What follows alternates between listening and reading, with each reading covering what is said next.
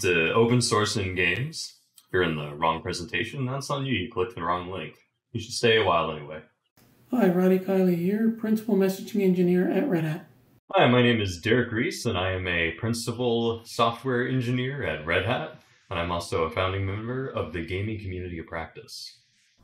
I'm Jared Sprague, Principal Software Engineer at Red Hat. Today we're going to talk a little bit about what open source even is, how can you use it, how do you make an impact with it on production at your studio, and some resources that you can use today along with how to get involved with them. So what is open source? Open source isn't the same flavor it used to be. 20 years ago, when I started contributing to the open source community, we were rascals, raconteurs, troublemakers, communist socialists, you name it. Some guy at Microsoft famously called Linux a cancer. It's an open source operating system, and it was all because of this absolutely crazy notion that software source code should be freely available to use, view, modify, and share. And we'd all be a little better for it. At the surface level, that's what open source is. And funny enough, a little company called Red Hat was founded on that idea 10 years prior. Normally, when we at Red Hat talk about open source, we talk about things like IT transformation and modernization and the open organization. But like I said, open source just isn't what it used to be. Nowadays, it's ubiquitous. Most of the Fortune 500 relies on open source software in some manner or another. It's enterprise, it's standard, but it's also more powerful, sustainable, and faster paced than ever.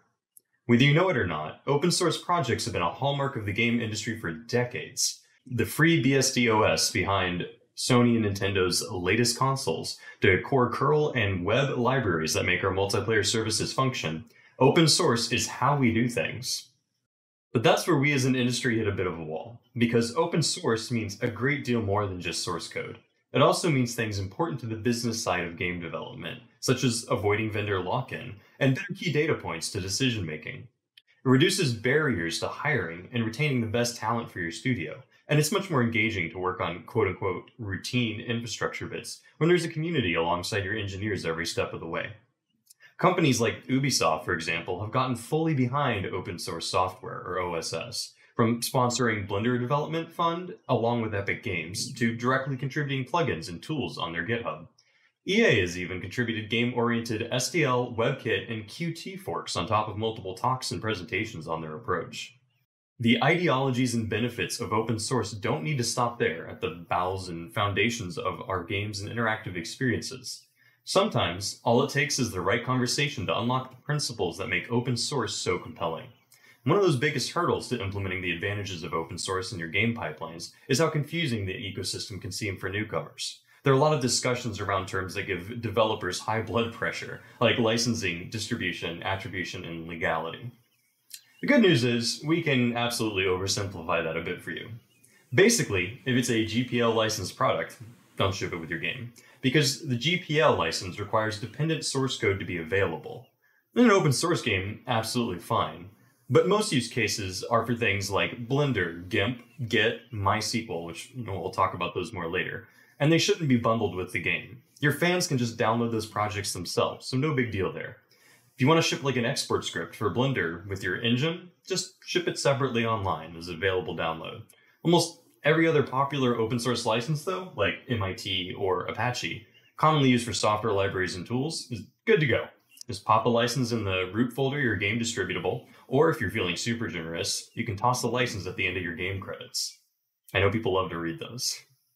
There are exceptions, of course, but most of them can be resolved with a quick search online, and are not impossible to vet through your legal department, since there are case proofs available on almost every license. My personal favorite, though, is the do what the you want to public license, which is about as complicated and erudite as it sounds. Frankly, the first step to making open source a bigger part of your workflow and all the benefits alongside that is remembering to search that stuff up when you're looking at a problem or a new development in your game pipeline. Just adding the words open source to your query can make a world of difference in discovering tools that can get you closer to your potential solutions much, much faster. The next step, though, is about identifying the healthy bits of the project. Check the date stamp on the last commit in the repo. Compare it to the roadmap and other related projects. This and some other indicators that you can see here on the slide are the project maturity. See if there are larger companies like Red Hat that offer paid support for security audits, consulting, and implementation, implementation services with employees in the project's leadership roles.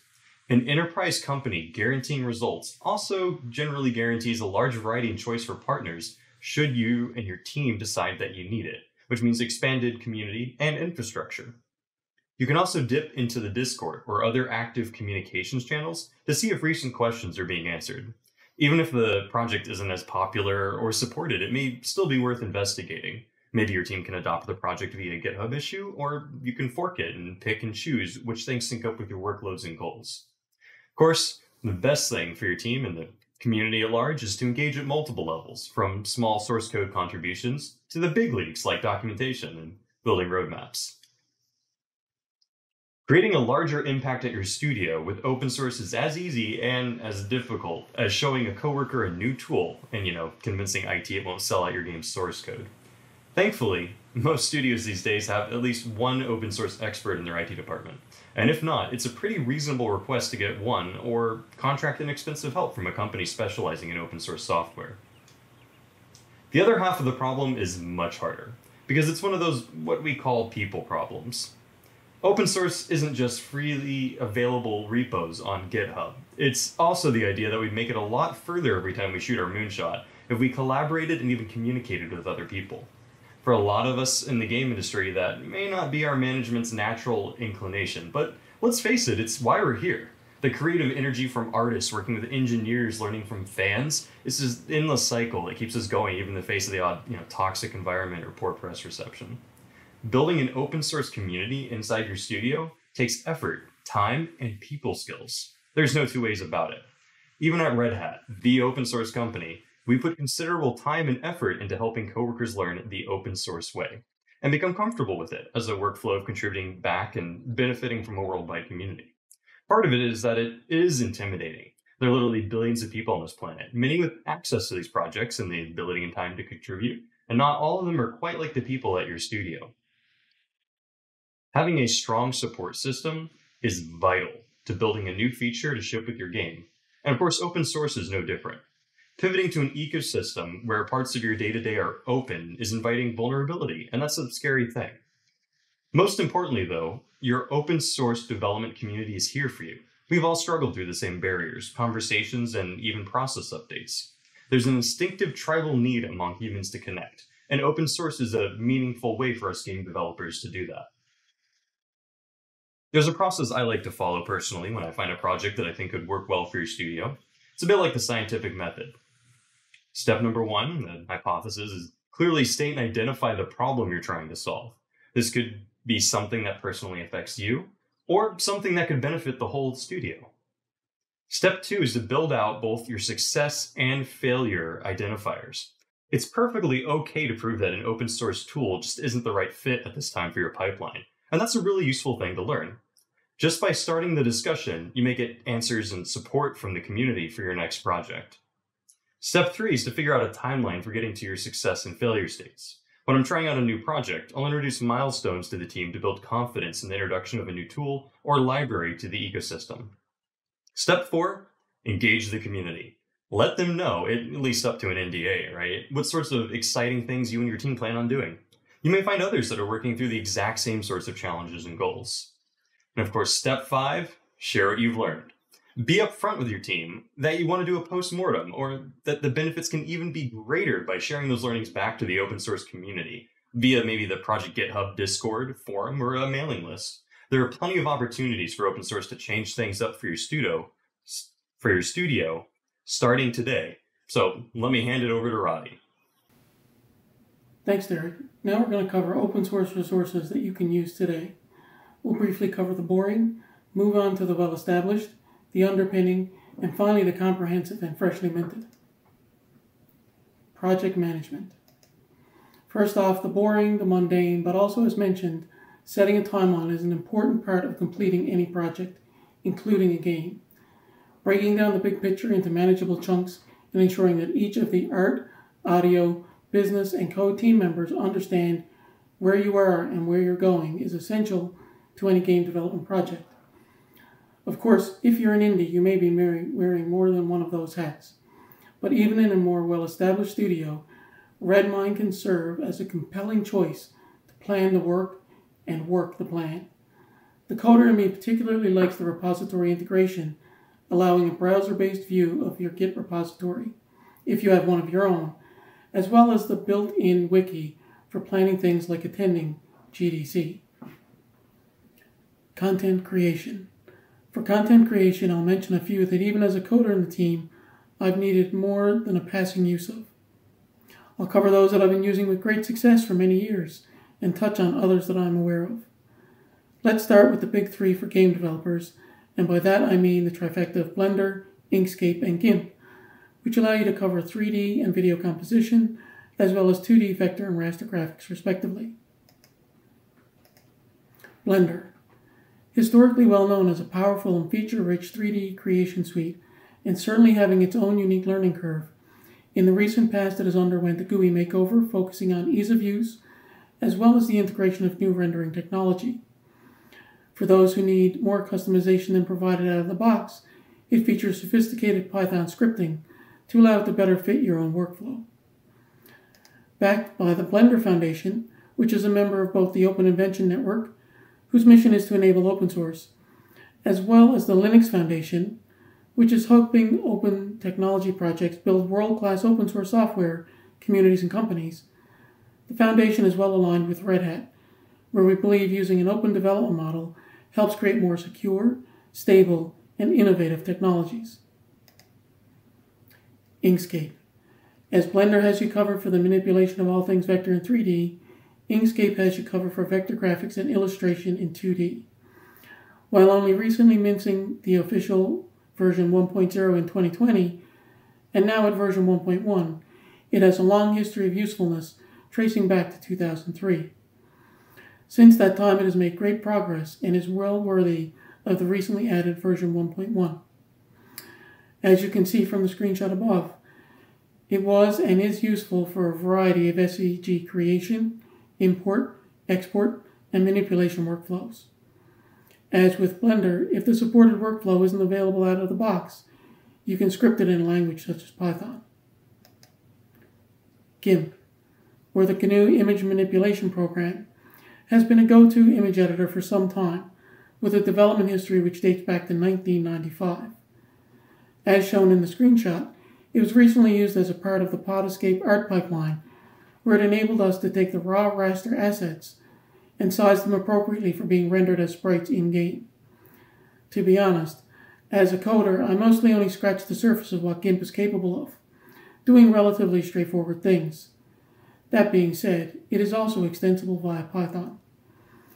And while relative newcomers such as Krita have focused more on digital painting than image manipulation, in the hands of the right artist, GIMP remains a powerful production tool in its own right.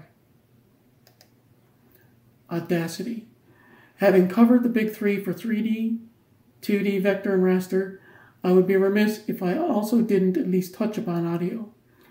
Here, open source also has communities that are relevant to the game developer and the content creation pipeline. One such project, Audacity, allows you to record, manipulate, and produce sounds. Here we see a raw WAV file as originally used for an intro sound. Now, having briefly touched on essential open source resources for either all disciplines, such as Redmine, or other disciplines such as the Big Three plus Audacity, I'd now like to talk about some immediate concerns as a game coder. Having briefly touched on essential open source resources for either all disciplines, such as Redmine, or other disciplines such as the Big Three plus Audacity, I'd now like to talk about some immediate concerns as a game coder libraries, SDKs, engines, and other tools. Isaac Newton is credited with saying, If I have seen further, it is by standing on the shoulders of giants. And nowhere is this probably more true than in the field of software development. Every day in my work on messaging, building containers, or on the recently announced Linux Foundation Open 3D Engine project, I use countless open source tools from the window manager, the terminal, the shell, the terminal multiplexer, the text editor, and on and on. In open source, we get to see further, not necessarily because we are individually better, but because we collaboratively build upon each other's efforts. Essentials. We have APIs that come from reference standards such as OpenAL, OpenGL, and more recently Vulkan, which bring us full circle back to 3DFX Glide days, but in a fully and open standard way. When you need to write code to work with audio and video in your game, the MP3 compression alternative Ogg Vorbis or uncompressed option FLAC may fit the bill.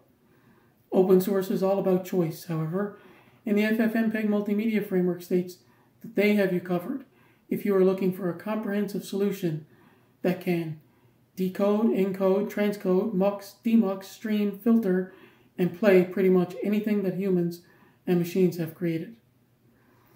For rendering, if you're looking for a compact, web-friendly, C-based project, then maybe Sokol is your choice. If C++ is preferable, then its sibling Oryol might be a better choice for you. Want the web native with JavaScript? Phaser 3 is possibly for you. And dear ImGUI, which is a minimalist GUI implementation useful in native code, JavaScript, and compiled WebAssembly, or WASM. Depending on the type of game that you're making, you might need a physics simulation. If so, check out Box2D for your 2D PhysX needs, or Bullet Physics for 3D. Both of these projects are well established with prior industry impact and are good choices. And in fact, Box2D served as the basis for the original Unity 2D physics implementation. And as well, we see that NVIDIA, with its physics implementation, has gone from commercial to open source in recent years. Now, as cool and as great as all those libraries, SDKs, engines, and tools are to any developer, we also know that development today doesn't end at the edges of the box on the desk. There are full stack developers for a reason. We have upstream, midstream, downstream, in the cloud, on the web, in containers, which can all be orchestrated by Kubernetes. With an open upstream first, operate first philosophy, Red Hat is well acquainted with emerging technologies at many of those levels.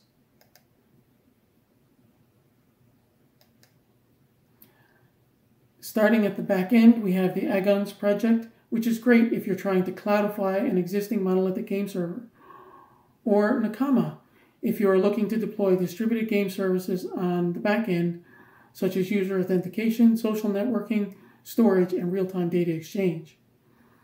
Deserving of honorable mention are our open source toolchain and open standard pipeline components, with a special call out to the Eclipse Che, which is great if you have developers want to work for the web in a web native integrated development environment. And speaking of integrated development environments, whether it be something like the cloud native Eclipse Che or the more traditional Visual Studio Code, Xcode, or CLion, where all coding tasks from text editing through compilation, linking, and testing are brought together into a cohesive whole, game development environments have certainly entered the mainstream. Many game engines available today, like the Coders IDE, bring together a game specific asset pipeline, editor, and binary builder. Open source has good choices for these game development environments, and in particular, we are going to talk about the previously referenced Godot engine, and the newly minted Linux Foundation's Open 3D engine.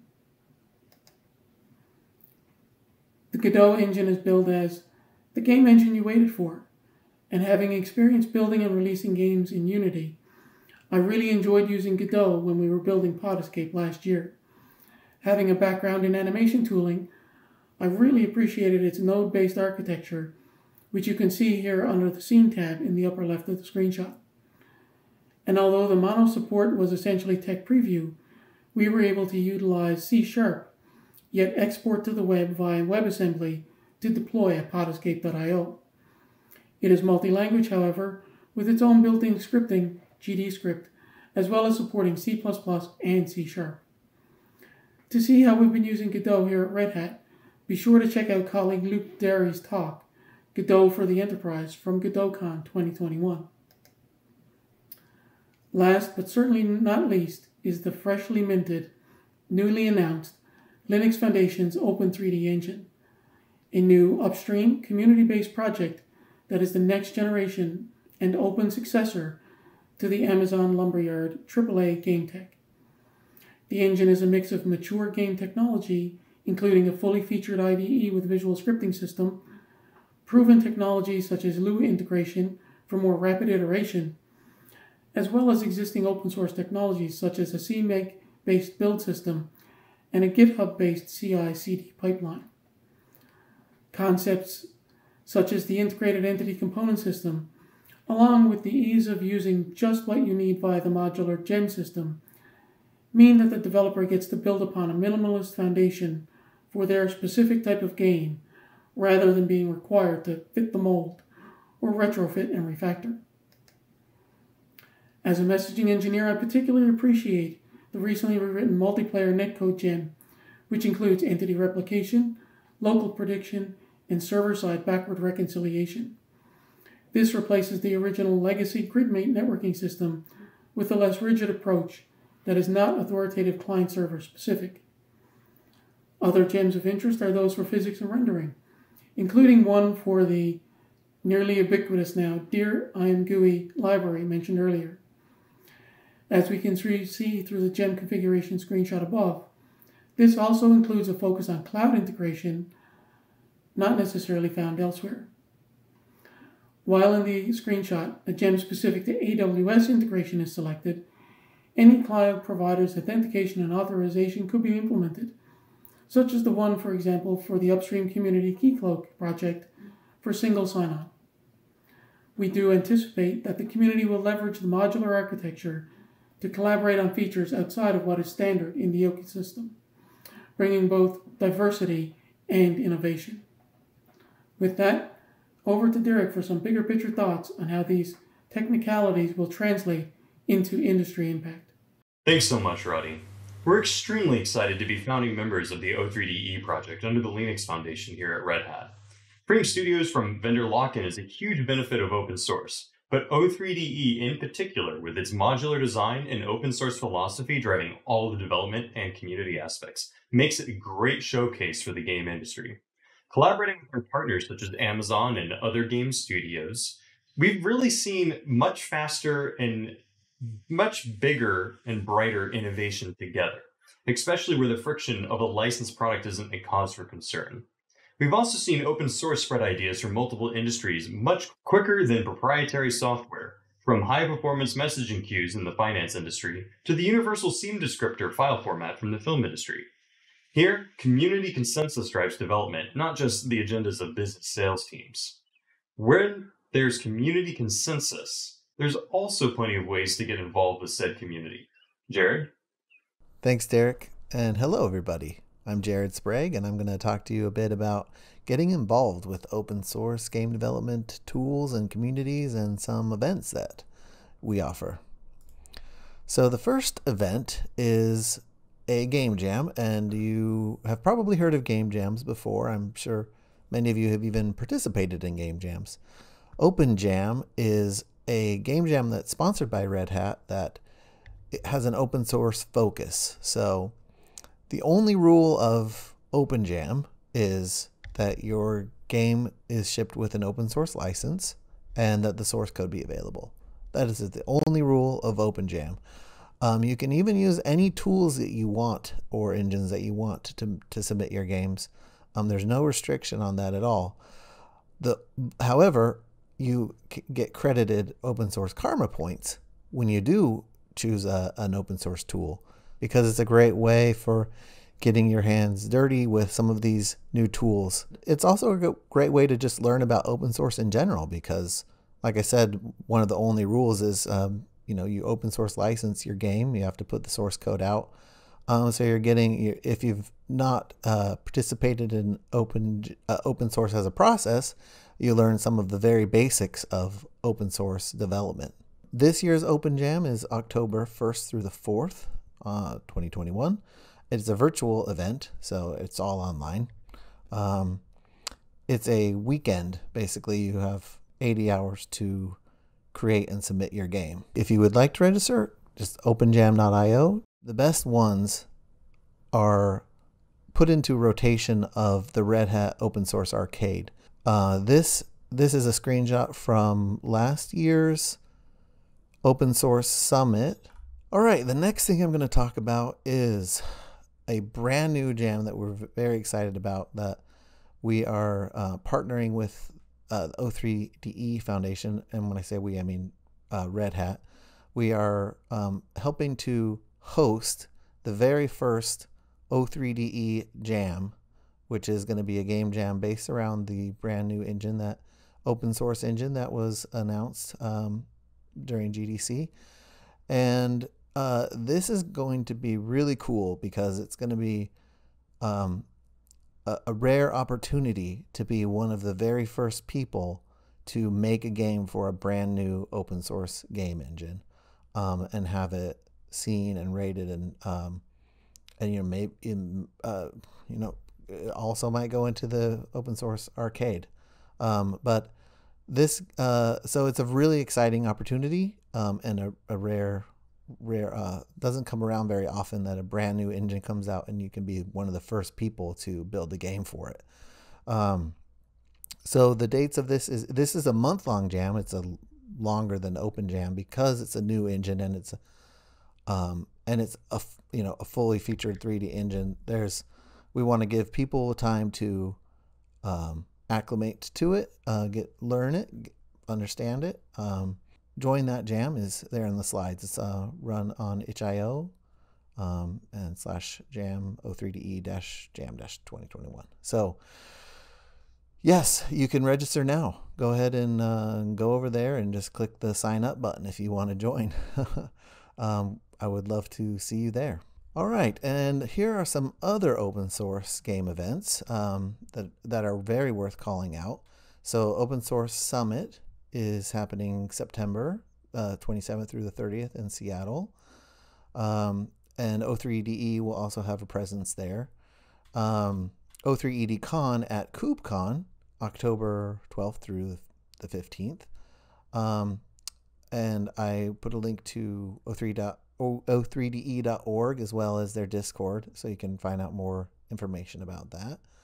Um, join the Discord, join the community. Also, very very worth mentioning is the GitHub Game Off Jam, which is a yearly jam just like Open Jam that happens uh, every November, the month of November, and this is a, a very good. This is very it's very similar to Open Jam actually. It's where they you're not in required to use open source stuff, but open source tools is highly encouraged. Um, and uh, yeah, it's a great, very popular open source game jam. Um, and then there's also a monthly Godot Wild Jam. This happens every month. Um, and I put the link there. This is a great way of uh, trying out Godot if you'd like to try out another open source game engine. And with that, I will turn it back to Derek. Thank you. Thanks, Jared, so much. At Red Hat, we put our money where our mouth is. I'm not here to sell you on the Red Hat portfolio. The products can speak for themselves. I just think it's important to point out that we're not only advocating open source for our friends and partners, we're living out the open organization ourselves by both building on open source as well as contributing back to the open source community through advocacy, code contributions, leadership, and then, of course, paid support. There's a motivation here behind teaching people about open source. It's not just our business model. It's about community, about building things together, and about being part of something bigger and more substantial that raises the tide for all of the boats. We'd like to take this opportunity to invite you to be a part of this community. And if you're here already, take the next step. We'll have a list of resources on our GDC landing page and at the end of this slide deck. Especially take a minute to check out O3DE and join the Jam later this year. Also, be a part of OpenJam. Beat our scores and view the source code on arcade.redhat.com or duke it out with our corporate esports association teams in your favorite multiplayer game. And then, of course, email us to collaborate with our engineers and product owners to build the next generation of game industry tools and infrastructure. When you make the choice not to just build with open source, but to engage the mindset behind that open decision making, you're unlocking the potential of a larger global community, both inside and outside the games industry, that can support you and your team in building and delivering what you're good at. Experiences that fans love and that stay with you throughout their lives. Thanks so much for spending time with us today. Have a great GDC.